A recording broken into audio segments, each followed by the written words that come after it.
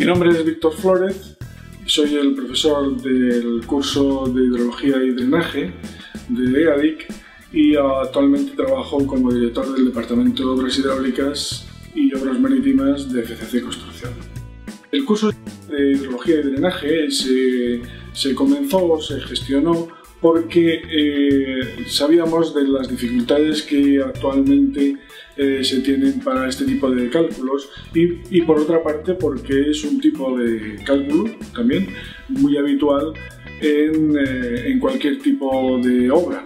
No hace falta que sea una obra exclusivamente de drenaje o una obra de cualquier otro tipo, sino que las propias obras lineales van a tener su drenaje incluso los saneamientos tienen sus recogidas de pluviales, etc.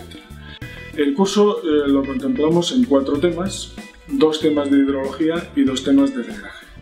Si comienzo por los temas de drenaje, voy a comenzar un poco al revés, tenemos un primer capítulo en el que vemos las tipologías de drenaje eh, más habituales. Eh, la primera división sería entre el drenaje superficial y el drenaje subterráneo y dentro del drenaje superficial tendríamos las obras de drenaje transversal y las obras de drenaje longitudinal que cada una de ellas tiene su propio, su propio cálculo, sus propias características especiales, igual que el drenaje eh, subterráneo.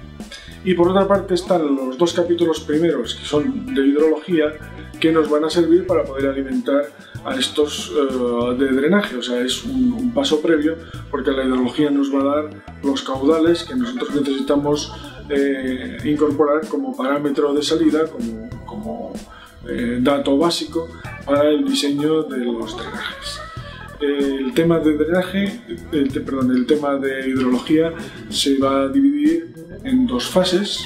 Una primera donde de forma más teórica hablaremos de hasta los modelos hidrológicos, los sistemas, hablaremos del balance hídrico y de los modelos hidrológicos eh, comunes, tanto los más sencillos como algunos más complejos.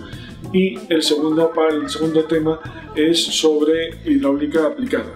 Ya es el, el, el considerar los uh, programas o las uh, fórmulas o los elementos que necesitemos para poder diseñar y obtener esos uh, caudales que vamos a necesitar.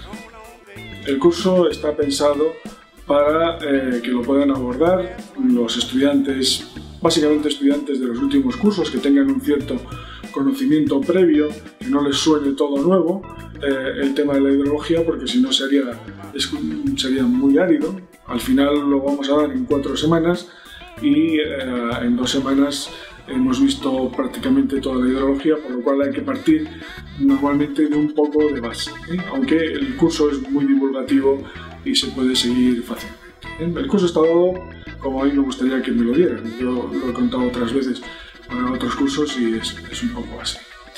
Eh, también está preparado para cualquier técnico que se vaya a dedicar a obras civiles porque en, el ámbito de trabajo, sea el que sea, va a necesitar el cálculo de drenajes y el cálculo de los caudales para eh, asegurar o no asegurar la inundabilidad de una zona.